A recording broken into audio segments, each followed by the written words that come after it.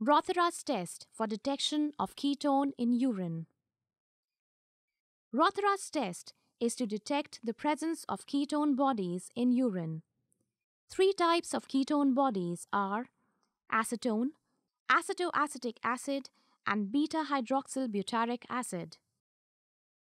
Nitroprusside used in this test reacts with acetone and acetoacetic acid in the presence of alkali ammonium hydroxide to produce a purple colored compound.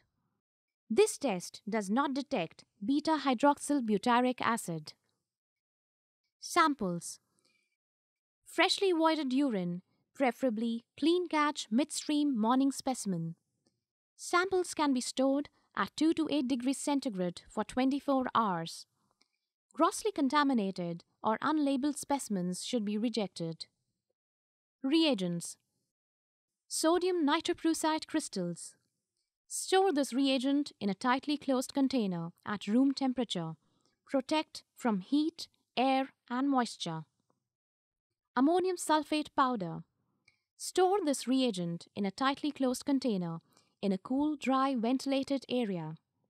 Liquor ammonia. Store in a cool, well ventilated area, away from heat, ignition sources, and direct sunlight. Keep away from incompatible substances. Do not permit smoking in the storage area.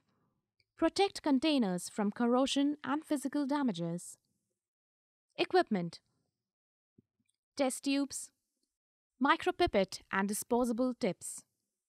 Procedure All standard precautions should be followed. Mix the urine sample well. Take 5 milliliters of urine in a test tube. Saturate with ammonium sulfate powder. Add a few crystals of nitroprusside. Shake till it dissolves. Add liquor ammonia along the sides of the test tube using a pipette. Results and interpretation. The formation of a purple ring at the junction of the two liquids indicates a positive test. Absence of a ring at the junction of the two liquids indicates a negative result. An important note. Always inform a positive result promptly to the concerned physician. It is advisable to have a lab policy to test all high urine sugars for ketones, that is 3 plus or 4 plus.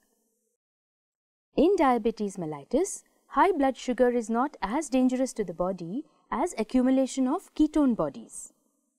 Quality control.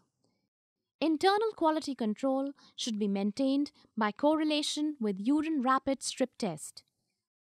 If the strip is positive, it is confirmed by using Rothera's test. Proficiency testing can be done by split sample testing once a month by two technicians. Interlab comparisons can be done as per feasibility.